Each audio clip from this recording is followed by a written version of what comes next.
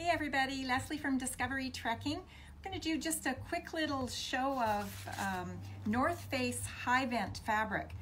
We have three examples of HyVent fabric here. HyVent is a technical shell that's used all on its own to make a garment, whether it's a pair of rain pants or jacket. You'll notice that it's very thin.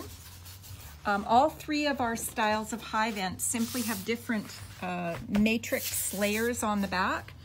So I just want to quickly explain what HyVent does. HyVent is basically a really uh, tough nylon coated fabric and it has multiple layers of polyurethane, very, very thin, that have been applied here that actually makes it feel very comfortable and dry against the skin. So even though it looks like a fabric that would require a lining, it doesn't require a lining at all. It's very comfortable to wear on its own. If you wanted to get a jacket and have it with more warmth, you could easily line this jacket with Polartec Alpha, for example, or Alpha Direct, and end up with a garment that has a little more insulation.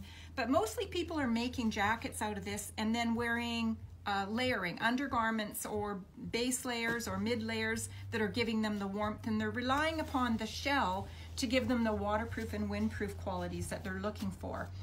Now, I don't have a jacket currently made up with any of these fabrics, but I am gonna show you this jacket here, which is made with another one of our shell fabrics. We have a Polar Polartec NeoShell. And even though it has different technical qualities, it's very similar in a way that it's comfortable against the skin, even though it basically has no lining that you can see. Very breathable as well. So just wanted to show you those three fabrics so you know that those can be used to make jackets on their own. And uh, I hope that you'll try one of these fabrics. And if you do, please share with us because we love to see your makes on our Facebook page. Thanks. See you later.